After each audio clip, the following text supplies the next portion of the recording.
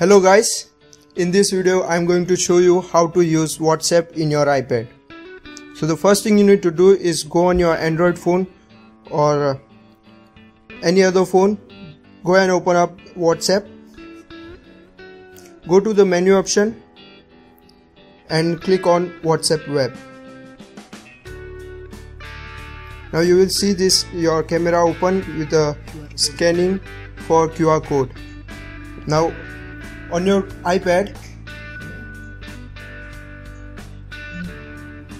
On your iPad go to Safari.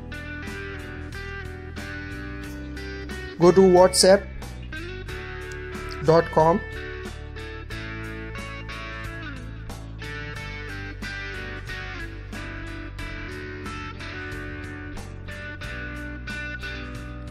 go on to WhatsApp web now you won't see anything here. So go ahead on the share uh, share button and request for desktop site.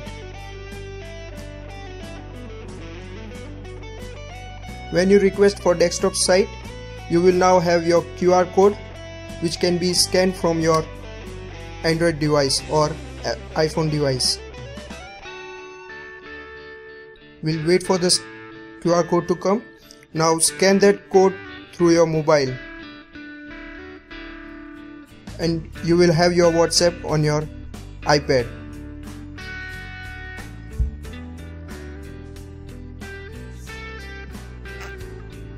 Now you can use your WhatsApp on your iPad. Another thing you need to do is go on to share option and add to home screen this will add the icon of WhatsApp on your home screen. Go ahead and click on add.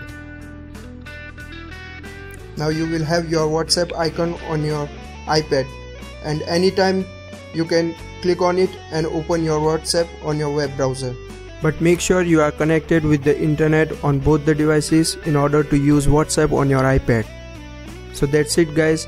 If you think this video was helpful to you, please make sure you share this video with your friends and don't forget to hit the like button subscribe to my channel for more videos in the future. Also make sure you watch these videos. Definitely you'll benefit from them. That's all. See you guys in the next video